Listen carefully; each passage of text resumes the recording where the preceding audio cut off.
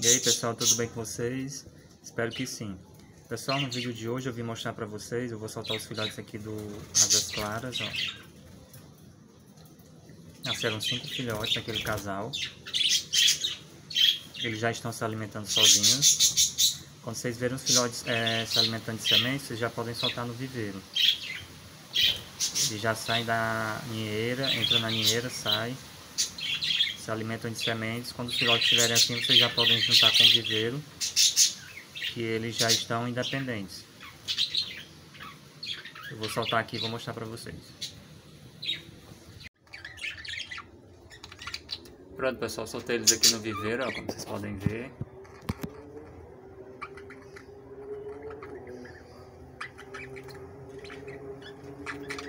Aqui tem dois, aqui em cima tem mais um, ó.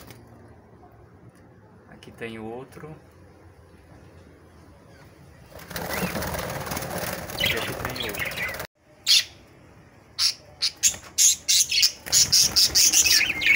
Os meus próximos casais vai ser esse malvo aqui com a albina. Com esta, vai ser esse malvo aqui, ó. Com esta albina aqui. Pra tentar tirar azuis.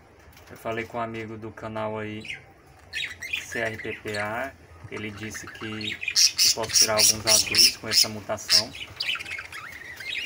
Aí vamos ver o que é que vai sair deste casal.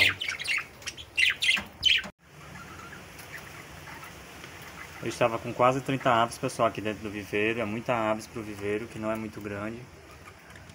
Aí eu vendi 10, vou vender mais alguns. Porque o máximo que o viveiro suporta aqui é de 15 a 20 periquitos. Acima disso eu acho muito.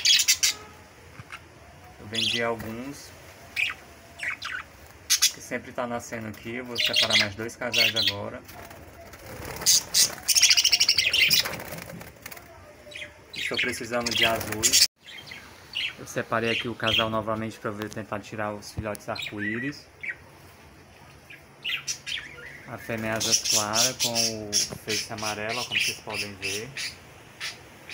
Mais pra frente eu faço um vídeo pra vocês, pra vocês verem se deu certo ou não. Vamos ver como é que vai ser.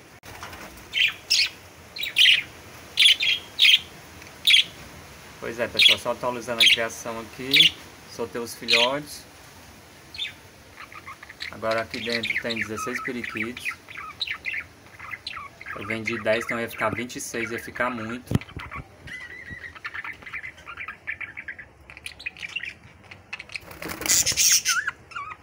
Este é mais um vídeo de hoje, pessoal. Valeu, até a próxima.